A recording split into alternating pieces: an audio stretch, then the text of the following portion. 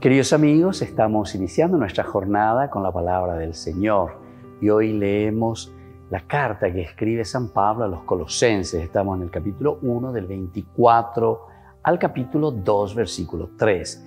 Dios me nombró servidor, nos dice Pablo, entusiasta después de ser tocado por la gracia de Dios.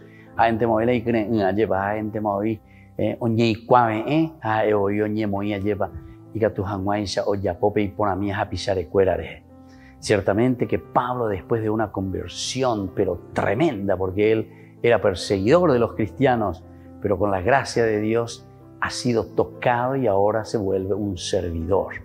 Incluso la palabra abad en hebreo que significa esclavo, ese significa el servidor, el que se pone para servir, para ofrecer lo mejor de sí mismo a ese que necesita.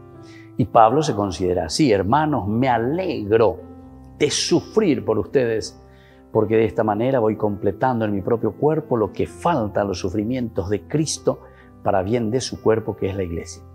Por disposición de Dios, he sido nombrado ministro de ella al servicio de ustedes para dar cumplimiento al proyecto de Dios. Qué lindo. Es Dios entonces el que llama.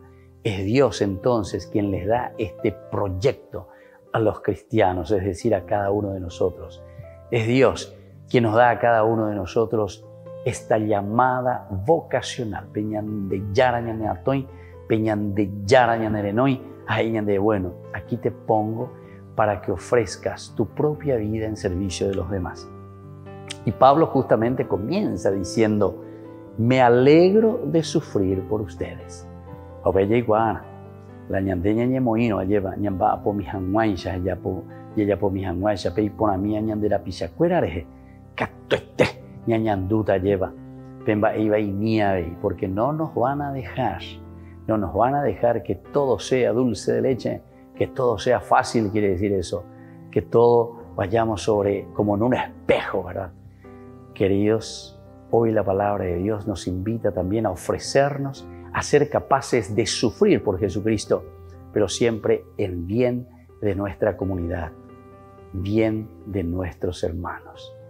Que la bendición del Señor descienda sobre ustedes, el Padre y el Hijo y el Espíritu Santo. Amén.